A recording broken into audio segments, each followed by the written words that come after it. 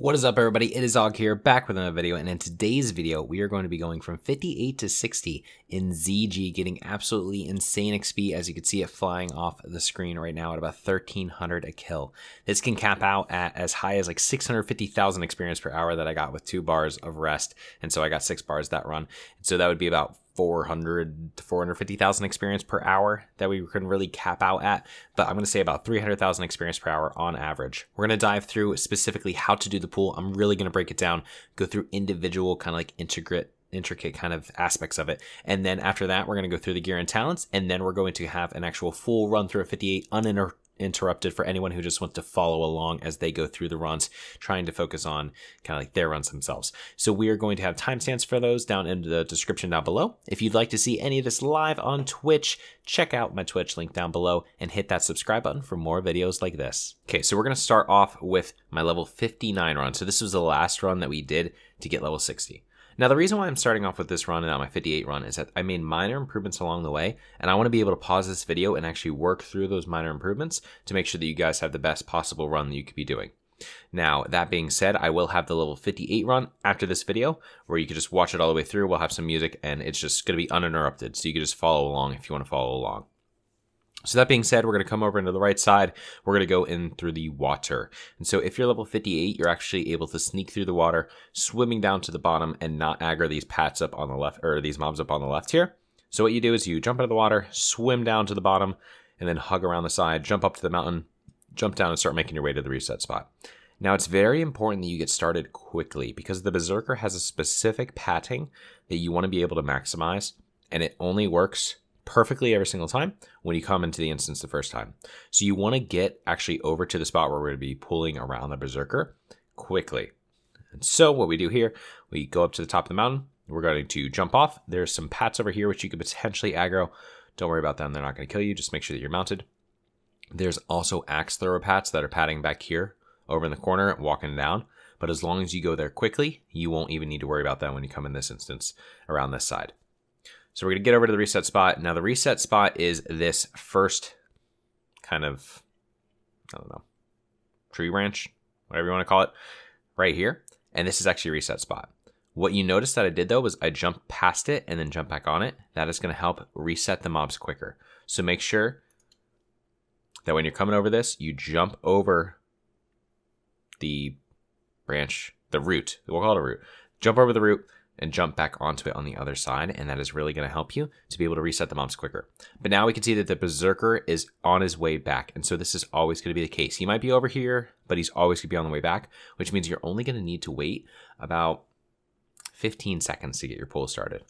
As soon as he crosses over pretty much past this fern that you see right here, you're able to start the pull. And so we're going to work our way around the side of this tree, get to the other part of it. And so what you do is you can jump up on the top of the tree and jump over, or you can you know, shimmy your way up that route. Practice it a little bit, you'll be able to get it easily. Get full shields, get full mana, and go ahead and jump off. Now, what you want to be doing is you want to be jumping off behind here. You're automatically going to aggro the crocs, but then you want to run behind the fern and jump constantly. Now, this jumping is going to help you to avoid taking too much damage by running up and scaling this mountain. You'll see that I did drop to 139, but overall 139 isn't too bad. As long as you still have your shields, you're doing pretty well. Even if you lose your shields, though, as long as you don't get dazed, you're going to be okay. Now, the other thing that you want to do is as soon as you get past those crocs, you want to start hugging the inside near the water. Now, the reason you want to hug the water is that we're going to need to turn back around and avoid the crocs that we just aggroed on the way back up kind of this, this hill over here. So by hugging the inside, the crocs are going to have the most inner pathing to allow us to work our way around them. So here we hug the inside, we go and just aggro these crocs with the face pull, but now you can see that the crocs down here are closer to the water because we hug the water, allowing us to escape along the outside perimeter up here without taking any damage. Now sometimes I've done this with full shields, sometimes I've had no shields at all. Have as much shields as you can, obviously, but we'll make it work. Up here, you want to slow down just a little bit, wait to make sure that the crocs are kind of aggregated and a little bit close. If you don't wait long enough, you could potentially aggro this group in the corner, but you probably won't. Hug the inner wall, and as long as you're 58, being pretty close to this inner wall, you're not going to pull the group that's right behind us right now. When you come into this croc, uh, tiger room, what you want to do is you want to pull that tiger at max range like that, and then work your way over to the corner and pull that tiger at max range and come over into this corner and kind of zigzag over to get to this waterfall. If you pull those tigers just like that, so I'll show that again. If you pull these tigers where you're max ranging this mob and you're going to kind of pull like right around here and then you go in and immediately jut out, you're not going to take any damage from these tigers, but you're going to be able to aggro every single one, which is going to maximize the XP that you get while at the same time not losing tigers. You're going to jump off and you're going to slow fall into the water. Don't blink typically. Now, if you are low health and you're worried about getting hit by one of these fish, go ahead and blink, but typically you won't need to blink there. What you want to do is you want to immediately get up to this high point on this kind of mountain right here. You still have your slow fall from the most recent jump. You jump into the water. As soon as you get into the water, you blink, aggro this Crocodile Group on the right. Sometimes he's, or on the left, sometimes he's going to auto aggro. Otherwise, just aggro him. Run over through these crocs and Nova. And now you want to run up against this wall right here, hugging the wall to make sure that you don't fall into the water. Now, what you also noticed is that as I came across here with this croc, I did jump turn Cone Cold him. So we want to be as quick as possible so that the tigers that are over here are not caught up to us because we're going to be on our feet. We don't have a mount to go quickly like we do when we're on 60 with Epic Mount and things like that, making it a lot easier. It's a lot more difficult for timing purposes when you're a lower level. And so we want to make sure that we have the maximum distance. Those tigers will catch up. Don't even worry about them. But as soon as we pull this croc, he's going to get to us pretty quickly. So we need to jump, turn, Cone of Cold. And so what you're going to see is that within the first few seconds, I'm running this way, I jump, turn, Cone of Cold, and slow that croc. The other option is just to wait until he gets into these kind of crocs right here and jump Nova to Nova all those crocs along with that croc that's behind you. Jumping while Novaing is going to extend the leeway range, allowing you to hit more mobs with that Nova. So that's why we would jump. Come around the bend here, and what you actually want to do is you want to make sure that you run up this route. Even if you fall into the water, run up the route. What's going to happen is that when you run up the route, the mobs actually, for whatever reason, will also try to run up the route and then come back down. This gives you an extra about two seconds gap. Now, I unfortunately did not run up the route there. I failed, and so the mobs catch up pretty closely. But if you were to run up the route, they would kind of shimmy backwards, and then you'll have a little bit more distance on the mobs. You're going to then go bolting straight. Now, as, as a level 60, with Epic Mount, we want to wait up on this hill a little bit over here to make sure that the mobs can catch up to us so we don't pull the Berserker around the Hakkar Temple. However, when we're a lower level, we don't need to worry about that because these mobs are going to be pretty close to us already since we're not on our mount running around the side of the Hakkar Temple. And so we could just bolt straight to the next mobs. You want to hug the left side so you take as little damage as possible, Nova these crocs, and then jump into the water and blink across make sure that you jump into the water as much as you can, kind of like a swimmer or something. You want to get as far into the water with your jump and then blink, allowing you to get through the water quickly so you don't get dazed. Jump off of here. It's okay if you get hit by a mob. Get your full barrier up, get your full mana shield up, and then aggro this croc. And I like to blink into the crocs from there. Nova, keep on running forward, reapply with Cold Snap. And now here's very important how we're going to aggro all these mobs. We are going to Cold Snap. We're going to Ice Barrier we're going to counterspell this croc, which is off a of GCD, and we're going to lip right around here. What's going to happen is that the mobs on the left are going to catch up to us. The mobs on the right are going to catch up to us. And the mobs that are frozen are going to be lagging behind a little bit, but typically you freeze them a little bit earlier, so then they aren't lagging behind. But at the end of the lip, that allows us with the cold snap to go ahead and freeze them all again as we run away. So lip, we're waiting. After about one second left on lip, we're going to move to left, Nova, and it Novas pretty much all the mobs. Now, one of them might get through, two of them might get through, whatever. That's fine. You could jump turn of Cold them. You can just leave on Frost Armor to get them. That's perfectly fine. Now, the other thing that we notice is that these serpents up here are actually on the side. So it's the of Hakkar and the Soulflayers. And so in order to avoid them, what I like to do is just blink through the water, come over to this side, and then we're good to go. And you'll see that I Nova that Croc there just to make sure that he gets back into the normal path. At this point, we can swap back over to our mage armor and get ready for a kill phase. You can see that I don't need a ton of mana, so I'm at 20% mana. We're going to be regenning a lot of mana as you go through here, and so we want to just focus on kind of getting to the spots, and we'll just work on the kill phase and getting through it with rank 1 blizzards. If we get through it with rank 1 blizzards, perfectly fine. What you want to do is you actually want to come, and there's a specific spot on this rope that you want to come jump up to. Now, if you need to blink here, if the mobs are too close, blink don't risk the mobs taking too long to get to the rope because they could bug out and kind of follow you up the rope. If they do follow you up the rope, just kind of shimmy back on top of the rope. Just walk backwards or sideways or something, trying to get them to reset. But if necessary, you might have to jump back into the water and reset back around the side, noving them and getting right back up to the spot. But the rope that you're aiming for is right here. So it's the second rope right after the gap in the middle. This second rope right after the gap in the middle works pretty much perfectly for me and never causes issues. So what we do is we run up against it and jump up. Now you can see the tigers are coming and the crocs are coming from us from this side. Swap back over. We rank one blizzard. We're trying to group these mobs up as quickly as possible. Now typically I would go for another rank one blizzard just to kind of stack them. So basically within these groups, I did get a clear casting proc. That's why I didn't. Within these groups, there are cubs. Now these cubs will run away from you if they are not continuously blizzard. So you got to be really quick with the blizzard and you want to burn them down quick so that when they do start running away from you, they're dying quickly after that. So what I like to do actually is I like to focus on rank 1 blizzards to allow the groups to stack up. So how do we do that? We focus on blizzarding the front mobs, and you'll see that we occasionally have some runners like that who actually are out of the range. So right here, these two mobs right here, because we place a blizzard at the front of the pack, are behind the pack enough where they're not getting hit by blizzard, but what they're going to do is run to the front of the pack and get hit by blizzard. That's going to condense the pack even more, so we have a better opportunity to do as much damage as possible with our max rank blizzards. That's why I like to start off kind of with rank 1 blizzards, just trying to group them as much as possible, focus on the front mobs, stack them up, and then we can focus on max rank blizzard. So here we're getting them stacked up. When you're using rank 1 blizzard, you don't worry about making sure that you do max blizzard the entire time, right? Because the the blizzard's not going to do a ton of damage. It's not costing you a ton of mana. You're just using it to stack the mobs. And so if you know all the mobs are grouped and they have two seconds left on it, jump back up and start doing another blizzard because you just want to make sure that you keep the debuff on them at all times. Here you can see the debuff's going to run off some of the mobs. They run forward, and so we're just trying to condense them as much as possible. Once we feel like they're condensed, we're going to go into max rank blizzard.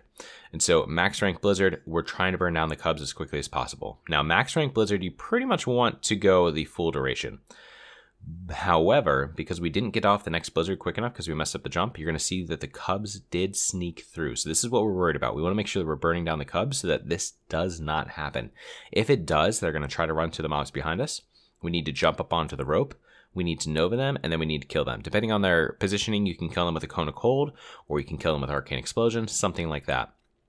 As soon as the cubs are dead, though, things get a lot easier. We could just focus on getting down the crocs and making sure that we keep them in a good position. You can see that we have a really good stack here, so I'm just going to focus on max rank blizzarding and letting the max rank blizzards go all the way through, just because we do have so many of them. And so burning them down, we're watching our mana. You're going to notice that I also did evocate earlier. Now, when you go for an evocate, I want to focus on that just for a second. What you want to make sure that you do is you actually want to make sure that you slow the mobs coming towards you before you go for the evocate. This is going to allow you to have the maximum distance when you actually do go for that evocate.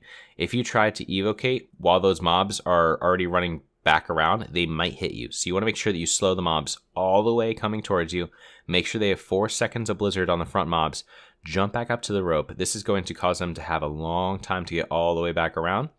Go for that evocate. Once evocate's done, jump right back down and get right back into killing them. Make sure that you do that though so that they aren't potentially getting to the water, aggroing fish, or just hitting you from below or things like that. But once we're back into the normal rotation, we're just burning them down. If you get clear casting procs, use max rank. Otherwise, try to group them up. Once they're grouped up, you can swap over to max rank. When you're level 58 to 60, highly recommend having some pots, major mana pots. You know, while they may cost three gold, you're gonna make about about 30 to 40 gold a run every like nine minutes. Burn mana or burn money on the pots. It's going to save you in the long term. It's going to make the rounds quicker. It's going to make sure that you actually get down the mobs so you're not just sitting there twiddling your thumbs with the rank 1 Blizzard back and forth, back and forth, hoping for a clear casting proc. Buy the major mana pots. Burn them. 100% worth it. But you're just jumping back and forth. You're trying to keep up the Blizzard ticks at full strength. You can see that we have a front runner here. So we're going to swap over to a rank 1 Blizzard just to try to get the front runner to go back into the mobs and kind of kind of get restacked. We still have our mana gem, so we're going to pop our mana gem he did run fully through here, so be careful because he could potentially go ahead and hit us there. But we're actually going to cut this blizzard short because we saw that he got slowed at the back end, and we have a clear casting, and we want to make sure the clear cast goes off, and so then we jump back down. But you just really just go back and forth trying to AoE burn down these mobs as much as possible. Be conservative with your mana. At the end of the day, I have about 5,400 mana unbuffed, and I'm going to be going through my gear in a little bit, and we're just going to be focusing on some of that and some of the requirements per se. But as long as you appropriately work through your rank 1 blizzards, so you're maximizing the opportunity of your max rank blizzards to burn down these mobs, you don't need a ton of mana and you're going to be good to go. Here I did take a risk though, and you see that I blizzard at the top of this ramp. I wasn't able to get off the full rank blizzard, and so it did cost me a good amount of mana. But then I hopped back down and went back into another max rank blizzard. We got most of the mobs down, but now you're going to see that I'm out of pots and I am out of mana. And so now we have to rank one blizzard for quite some time to get through the rest of the mobs. So you just want to be very mana conservative. You want to be very smart. If you have the Mage ST quest, so eh, there's Mage class quest at level 50 that was added with, I think it was Zul'Gurub question mark, maybe Dire Maul. That basically is a catch-up quest, and it allows you to get what's called a Fire Ruby. And so Fire Ruby is mainly designed for the Fire spec, like a Fire build. However, what it does is it restores zero or one to 500 mana. So if it restores 500 mana, it's awesome. It's usable every three minutes. So it's basically another little mana gem. It's not going to give you as much as, you know, your mana rubies or your other mana gems or things like that, but it is going to give you a good amount of mana that you can just use to burn anytime that you need to get your mana back up to be able to get down the kills. But here you can see that we're getting down the mobs. We have almost all of them down. We're just working on the last little rank one blizzards. I didn't reset my timer for my session perfectly, and so the XP per hour is a little bit lower, but we're going to see with the level 58 run through when we reset the session at the start of the instance that it was coming through at about 300,000. We capped out with a pretty perfect run at the beginning of 59 at about 650,000 experience per hour with two bars being rested. And we normally get about five bars per run. So that run, we got about six bars that run, and it was about 600,000 experience per hour. You can average 58 to 60 in about one hour and 30 minutes. It's absolutely incredible. One last thing that I do want to focus on is how to actually do the jumps back and forth on this bridge because a lot of people do struggle some with doing that jump. Now, if you are a male, this is more easy. Okay. What you're going to be doing is that once we have that perfect positioning on this branch right here, all we do is that when we jump off the branch, we strafe off and then we strafe back into the rope. And so you're going to see that I kind of go back into the rope. This is just to provide positioning for the next jump up. You then jump up and immediately strafe over. Do not do jump and strafe at the same time. Jump first, then strafe left immediately, and that will get you back up. Now, if you are a female, what you actually have to do a lot of the times. You could try to do this, and sometimes having the Noggenfogger, or the skeleton will help, and things like that, and maybe Elixir Giant Growth that'll help with this if you want to do this jump. Alternatively, what you need to do is you need to stand on this middle kind of bridge point right here, right in between the two ropes, and then you strafe jump up to get to the side of here. And so you stand here, you strafe jump up, strafe up, and just jump back down. Go into your blizzards. Strafe jump up, go back down your blizzards. And I'll show you an example of that in just a second. So after we did that run, we actually did go through a demonstration of how to do the jump as a female. So what you want to do is you go over to that middle kind of branch right there, or middle point of the rope. You aim 50 degrees to the right and you just strafe jump back and forth just like that. So just to show that one more time, we come over to the middle of the bridge. We go right on this middle part right here. We turn 50-ish degrees to the right and now we're just strafe jumping. So strafe and jump at the same time, jump up to the rope, run down. Strafe up and jump at the same time, run down. Sometimes if you get dazed during your run, your RP walk is also going to be bugged. So make sure you have RP walk on when you're just doing the normal jump up towards the side. If it is bugged though and you're running really, really slow, this can happen sometimes when you get dazed. What you need to do is actually this jump right here because your daze is going to be so slow that RP jump is going to get messed up every single time. So you are going to need to do the strafe jump strat. Don't have RP walk on when you're doing that, of course but you can do that and that will still work and you'll be able to get the kills like that. So let's talk about some gear and talent. So as far as gear goes, have as much int and stam as you can, basically. I didn't have good gear at all, as you're about to see. And so it can be pulled off with pretty much any gear as possible, but here's some recommendations of things you can get. Of the Eagle gear, definitely to be great. Go ahead and grab T.5. So that's going to be Magisters, Devout, Dreadmist, Necropile if you can get it out of Scholo. Things like that that are going to give you just some really good int and stam. And so here we have the Magister's gloves. Those are great. But then we also have the Dreadmist belt and the Dreadmist bracers. The two set bonus is plus 200 armor. So if you get 200 armor, that's actually really helpful when you're running through, running by the Crocs. Hopefully not getting hit as hard.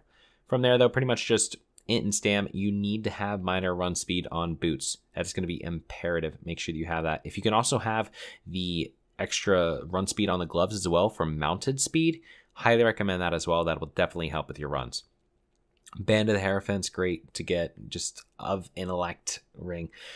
Uther Strength is actually really nice to have. So it's basically 20 stamina every single time that it's popped. So it's a 200 health barrier. Highly recommend getting this. This is a great trinket, very cheap just to have. Of the Eagle, I have the illusionary rod out of SM. like, you don't need crazy things. Robes of the Insight are actually really useful as well. Robes of the Insight will decrease the mana cost of your next Blizzard by up to 500 mana, which is very, very nice to help you out with some mana when you're going through just kind of like a kill phase. Of the Eagle Gear, Elder Wizard's Mantle, Horizon Choker, Whitemane Chapeau out of SM, you don't need great gear, basically, is the moral of the story to be able to do this. As far as specs go, here is the spec that I am using. This is Talented Classic, the add-on, and I will link this down in the description below for the exact spec. This is at 59. The only difference at 59 is one less point in a wand specialization. I did go into wand specialization just to be able to kill the mobs at the end, should I be out of mana, just to do some extra damage, things like that, because there's nowhere else that we really need them. Maybe improve Frostbolt, but we don't really need improve Frostbolt because we're going to be Oom if we're using our wand anyways. So that's something you can use. But the important things are to get clear casting and then to go all the way through the frost tree, skipping, of course, over frostbite and winter's chill and potentially frostbolt depending on how you want to do this build so again that'll be linked down below. But now let's go ahead and jump into the full 58 run on our mage where we did it the very first time through s58 put on some music and hang out and you guys can watch it all in full time if you want to follow along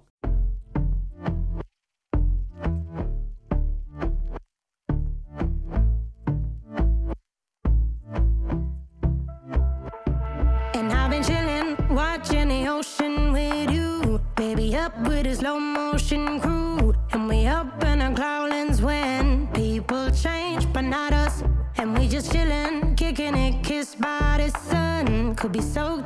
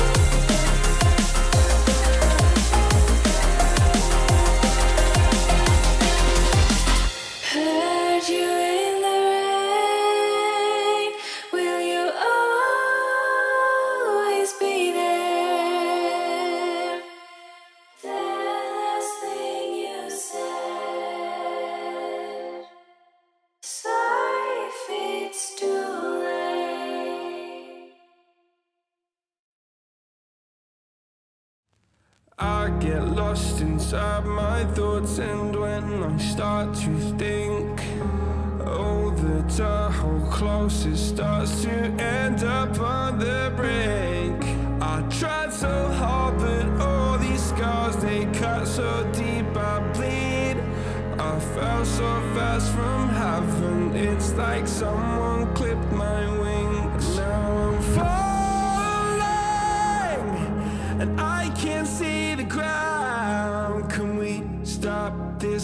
gravity?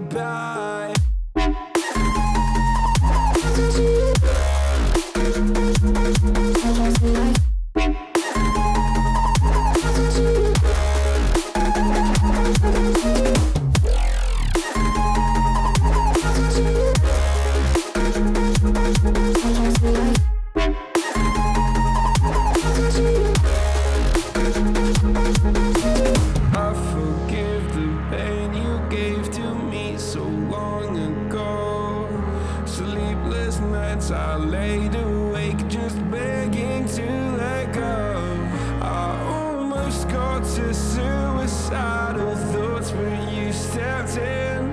An angel sent from heaven showed me how to